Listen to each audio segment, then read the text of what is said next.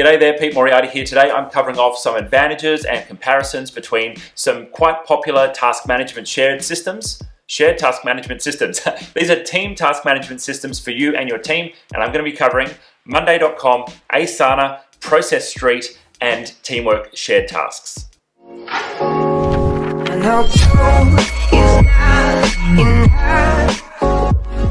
So let's start with the basics. For starters, using a shared task management system is a great move for your business. Um, if you're a you know solo operator and you're just using one task list or one to-do list, you can probably get your work done. But as soon as you start adding staff members into the mix, things start to fall off the rails a little bit and, uh, you know, spreadsheets or a big whiteboard just ain't gonna cut it in you actually managing tasks and who's doing what inside the business. Now, a task management system or a shared task management system means that you can see your own tasks, uh, but you also have access to common or shared projects and shared tasks uh, amongst your team. And some of the really popular solutions over the years have been tools like Basecamp. They were one of the, the real first popular ones years and years ago, and many have popped up all over the place. Now, I'm going to be covering some of my favorites, some of the most popular ones, um, but the point here is really don't stress too much about what system is right for you. The most important thing is that you actually use the system.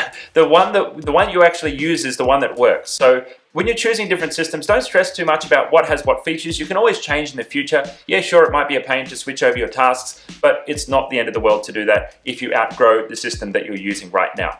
So I'm going to start from the basics and I'm going to get up to the more kind of sophisticated and advanced solutions. Uh, and, uh, you know, as that process goes along, the price obviously changes for each one of these as well. Now, the first one that I love the best, uh, this one is Asana. And honestly, we still use Asana inside our business. We've used it for years and years. We've tried many others And uh, I'm a big fan of simple is better, and I'm also a big fan of free. Uh, and Asana is free for up to 15 people, uh, which makes it really great. Now, it's not just free for 15 people, it's free for teams of up to 15. So you can actually have one Asana set up with multiple teams. And when you have multiple teams set up in Asana, you can effectively have more than 15 people using Asana still for free. That's pretty darn groovy. And so yes, we are still on the free account. We're still using Asana and loving it. Now, you might be thinking, Pete, well, how do I get access to the free account? Is there anything special that I need to do? And there is. You actually have to be on G Suite to make that happen, and you have to sign up to Asana using your G Suite account. So there's a few hoops you've got to jump through.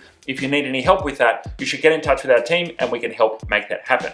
Now, the reason I love Asana is it's super simple to use. Um, the interface is really nice and easy, and there aren't many button clicks to actually make things happen. Uh, more sophisticated systems like Teamwork.com or like uh, you know Process Street or Monday can sometimes require additional button clicks to achieve the same result, like marking off a task or looking into subtasks or navigating through projects. And with Asana, I like that there's a really great set of simple keyboard shortcuts but also the interface is just very fluid, so it's very easy to use. Their mobile app is also great, and one of the cool features of Asana is when you complete a task, you can actually have a unicorn fly across the screen, which that's pretty damn hard to beat. So uh, my pick, if you're just getting started and you want something simple, as free as possible for as long as possible, is to get started with Asana, because that's the easiest place to start. Now the next one that I'll cover is called teamwork.com and teamwork is great because not only do you have a task management system and it's quite a sophisticated one, you also have a chat functionality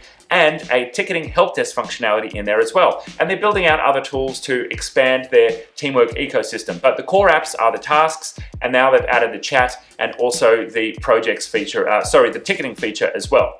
Now, inside of Teamwork, there are a few more button clicks to get things done, but you can run slightly more sophisticated projects. And so if you're a business in the construction industry and you want to have Gantt charts and timelines for your projects, uh, if you want to also do things like maybe have um, time billing added to your projects and reporting on time billing with budgets. You can do all of that within Teamwork, and that's pretty cool.